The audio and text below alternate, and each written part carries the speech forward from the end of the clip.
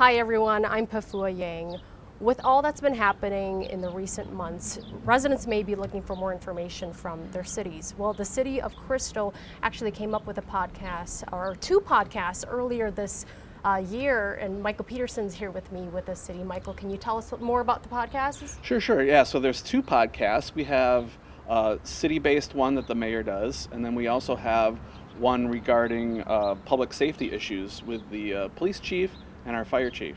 Okay, where can we find these podcasts? The podcasts are available on our website at uh, crystalmn.gov, and you just go under Our City, and both podcasts are there. Okay, how often do you update these podcasts? Well, there's multiple uh, uh, episodes of both podcasts. Right now, the mayor has done three, and the police chief has done two. So there's five episodes available, and um, the mayor does one about uh, every other month, and I believe the police chief is going to do them quarterly.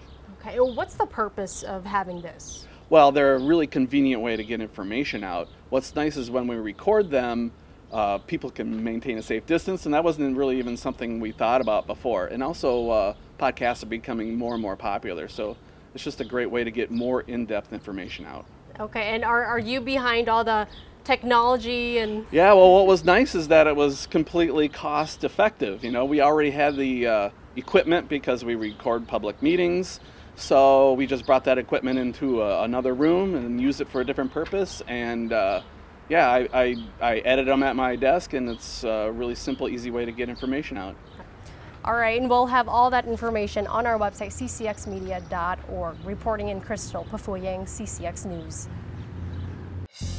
Find more local news stories at ccxmedia.org and follow us on social media.